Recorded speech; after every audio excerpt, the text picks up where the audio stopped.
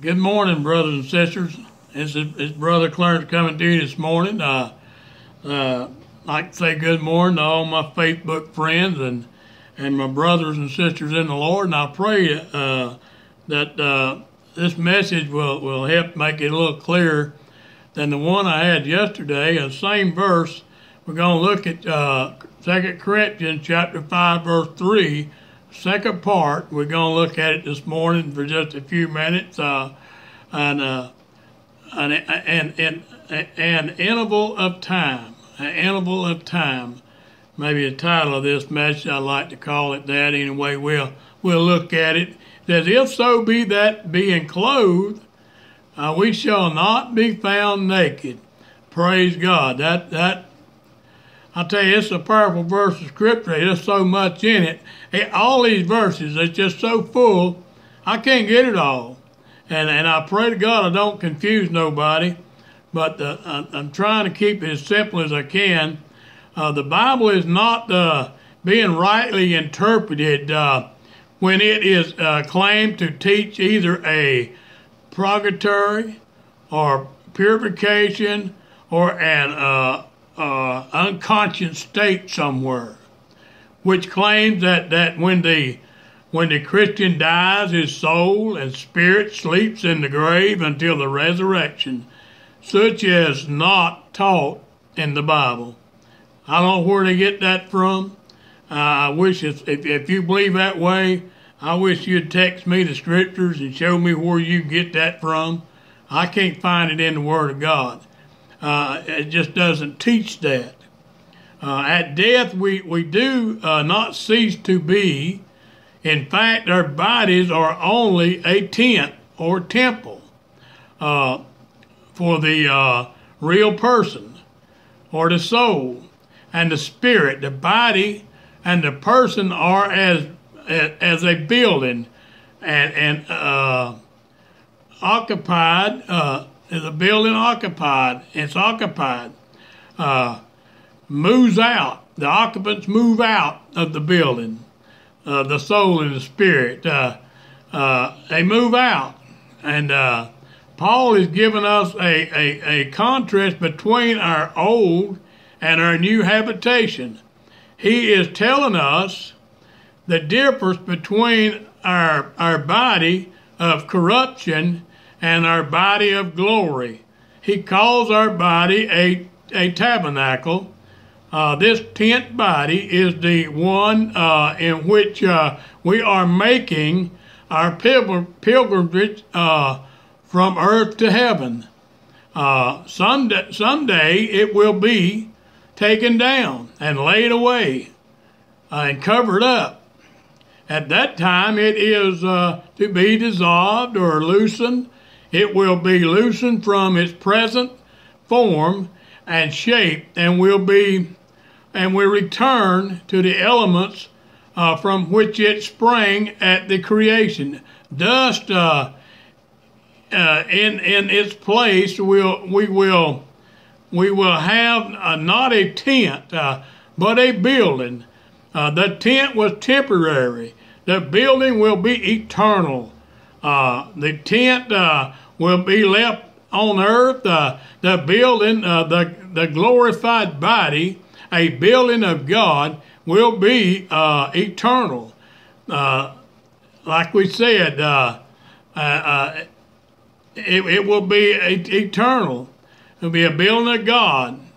And the tent is left here on earth. the building will, will inhabit the, we will inhabit in heavens uh, the tent uh, passes through uh, uh destruction, uh, which, which, reduces it to its original chemical state or, or common soil.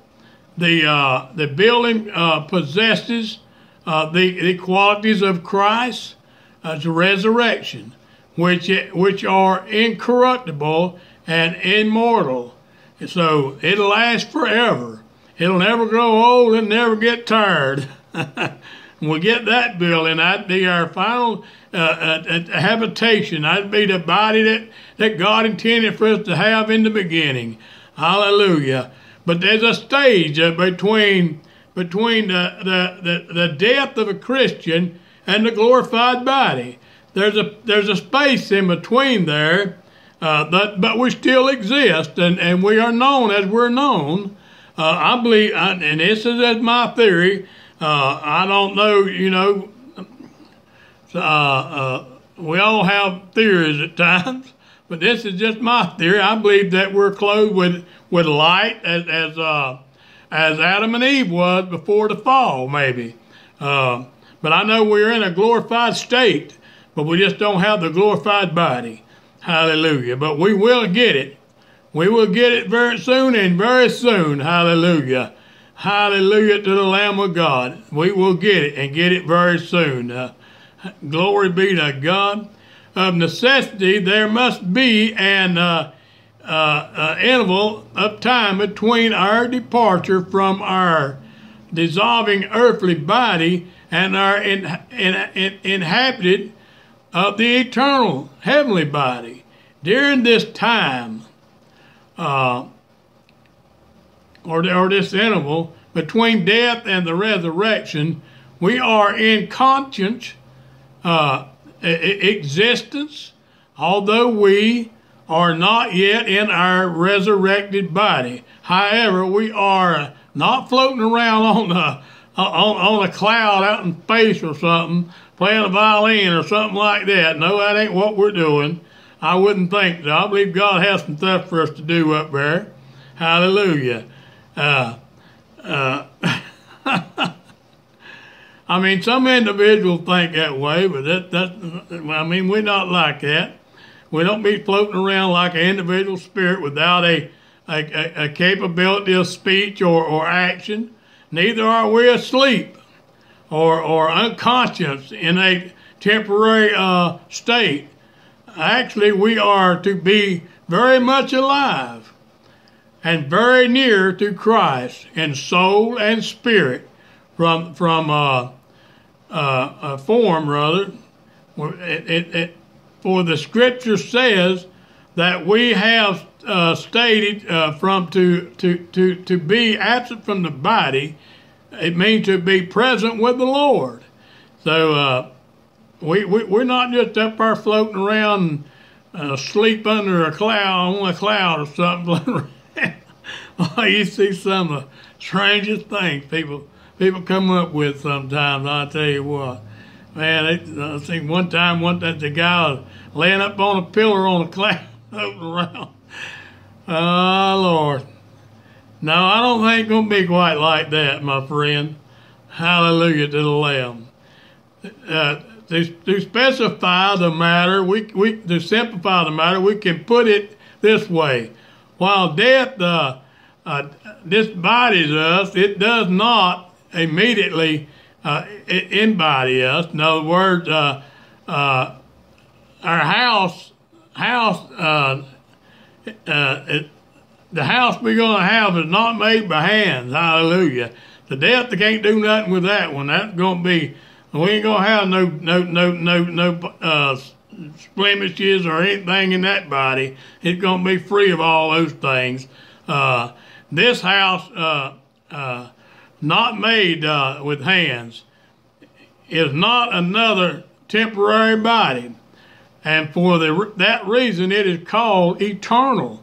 It is our final habitation, but it will not come to realization until the rapture and the resurrection. Hallelujah. The new desire we have, as Paul mentions in verse, verse 2 here, uh, uh, is not the desire for death, which uh, dissolves uh, uh, and uh, or unclothes the spirit, that would be un- unnatural. Uh, the Christian is looking, looking beyond death for the time when he will be clothed uh, with his new body. Uh, death, death as a, a, a natural process is not the hope of the Christian. For death disbodies and, and, and, and, and it, it dissolves the body. Uh, it is the resurrection and the rapture. Both are the same, which the new desire longs for, uh, because the rapture or the resurrection and the rapture will bring us this this building, which is an house not made with hands. Hallelujah! Glory be to God. When the Trump, we we went through that the other, yesterday. Uh, we read those scriptures to you. Uh, you know, when when when the trump sounds, uh, uh, uh when the when the it said Paul said there, uh, uh, for we if if we believe uh, that Jesus died and rose again, even so them also which sleep in in Jesus will God bring with him. Hallelujah. It doesn't mean soul sleep. It, when, when it's talking about sleep, means absent from the earth. Well, it's not. They're not present here in the earth. I know earthly things, but they they are present with the Lord, and uh, that it, that's what it's talking about. They're not in their earthly body no more. They're they're out of it.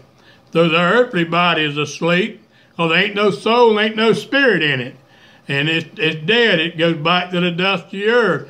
But it says here that that uh, for we believe that Jesus died and rose again, uh, even so them also which sleep in Jesus will God bring with him. Uh, for, for this we say unto you by the word of the Lord, that we which are alive and remain uh, unto the coming of the Lord shall not prevent them which are asleep. Oh, he's bringing them back with him. oh, hallelujah. Glory be to God. Hallelujah.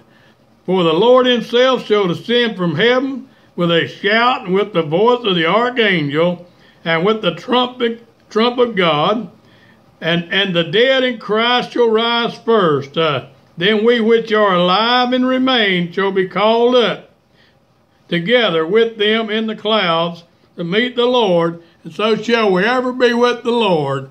He said, comfort one another with these words, and they are a comfort. Uh, I prayed I got you got something out of this here uh, verse of scripture. We'll look at it. Uh, we'll look at verse. Uh, I think we're going to look tomorrow. Uh, we'll be looking at. Uh, we'll be looking at. at let's see. I'm thinking that we'll be looking maybe at verse uh, verse three tomorrow, or verse four rather, verse four I think. But anyway, I pray that you have a blessed, blessed day, and uh, uh, look unto Jesus, the author and finisher of your faith. And, and, and we ought to be rejoicing because we got a brand new building, a building uh, uh eternal in the heavens, awaiting on us the, when the rapture takes place, uh, if, if, if we go by the way of the grave, we'll be, we'll be with the Lord and and and uh, be at the abide, be with the Lord. And when the Lord returns, He'll bring us back with Him, and we'll take on our glorified body. Hallelujah! Praise God! I can't wait till that day. I get excited thinking about these things. Uh, but anyway, you have a blessed, blessed day. Remember tonight, eight o'clock. Help me pray. Uh, we need to pray for this nation, praying for revival, pray for our president and our leaders and our police officers' safety and our military safety and our firefighter safety and, and all that's in authority tonight. We need to pray for them and, and, uh, uh, give God a couple minutes of your time tonight at 8 o'clock. Well, God bless you. I'll see you in the morning. If I don't see you in the morning, I hope and pray some glad morning I'll see you in heaven. You have a blessed day now and meditate on these things we talked about. Hallelujah.